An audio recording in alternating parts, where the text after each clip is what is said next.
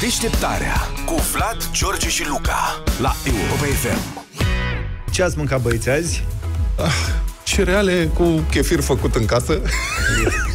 Chefir făcut în casă. Hai, nu zice că ai primit E ce foarte bun. Am primit și eu în dimineața asta încă unul. Am uh, adus recipientele înapoi. Da, e O bun. să ajungi tu să faci în cadă chefirul. În cadă. Ca Vlada. Este foarte bun. Acum așa a revenit ciuperca după vacanță. Băi, tu ai zis zilele trecute că ai probleme cu ciuperca, că Da, a stat- ba, ai fost în vacanță și a stat singură La și fric s-a și supărat întâlnit, și da. parcă nu-i la fel. E fost mai bun. depresivă. Da. Păi când, acum vrea auzi să când e demonstreze. supărată ciuperca, este mai bine. Nu, acum vrea să demonstreze că se bucură că mă vede și A, am înțeles. face chefirul bun. Bine. Da, important ce mâncăm dimineața. Mulți oameni mănâncă um, am văzut la metrou, își cumpără covrigei, merdenele, lucruri de genul ăsta. Foarte bun. Da, atenție la covrigii cu mac. Un șofer din Alba Iulia, care a ieșit pozitiv la testul pentru droguri făcut de miliție, susține că a mâncat doar corn cu mac. Toată viața? Ei nu spune în ce perioadă sau când sau cum, Sau de unde? dar să ne dea și nouă adresa. Deci, da. dacă asta corn? este. Așa a zis, cornuri cu mac.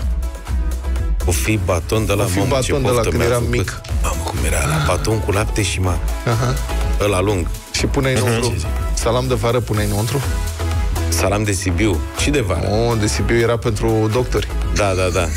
Și cu cașcaval a fumat. Mamă, muream. Aoleu, îmi plouă în gură numai că și mă cu gândesc. puțin unt. Dacă era și unt, deja era... Da. Asta vorbim eu după Revoluție. Erau cornuri cu mac și înainte. Dar la noi nu era cornul, era cu gem. Cu mac era doar batonul. Nu, era un, mă rog, baton. Baton cu mac. Baton, da. Era Asta ușor zic. dulce, așa. Bun, să ne potolim că omul are necaz. Mac, Domnul mac. Alexandru. Mamă, ce Cea mai puțin. Scrisoare deschisă publică. Spune că nu a consumat niciodată droguri, iar testul pozitiv la opiacee ar fi fost rezultatul faptului că a consumat cornuri cu mac. Am fost depistat cu trei substanțe. Eu nu consumasem în viața mea vreo substanță interzisă și de aceea eram foarte liniștit când i-au făcut testul. Uh-huh. După trei luni am fost anunțat de către avocată că analizele de urină au fost pozitive la opiacee, iar la sânge negative. Deci l-au dus la spital să dea probe, să da, da. ce, înțelegi? Nici până în ziua de azi, după un an și două luni, nu s-a trimis dosarul meu în instanță, ceea ce denotă un proces neechitabil și încalcă drepturile omului. Adevărul că te nenorocești o chestie de asta. Da. Deci dacă pici pozitiv la un test de ăsta antidrog la poliție, înțeleg că mai dau erori. Adică au apărut mai multe știri. Uh, e nasol de tot, ai încurcat oro de tot, ești dat afară, consumator de droguri, înțelegi? Și tu nevinovat. Nu zic că toți, dar mai sunt erori, ceea ce este o porcărie foarte mare. Dar eu, eu aș vrea să facem noi teste de-astea. Deci fac un, fac un apel către aceia dintre voi prieteni care știți de unde putem noi să cumpărăm niște teste de-astea antidrog. Sau poate să împrumutăm.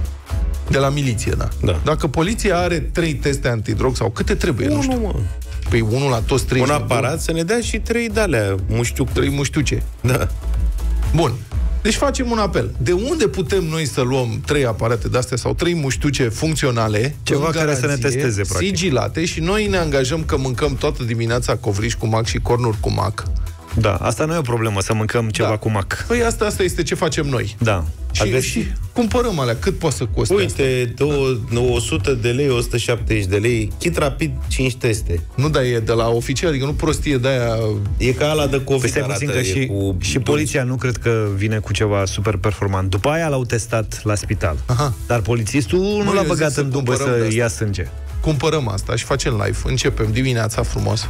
Da. Aici avem o pungă de covrigi. Câți covrigi Da. cu mac să fim în... Covric cu mac și cu chefir. Un covrig cu mac și chefir, da.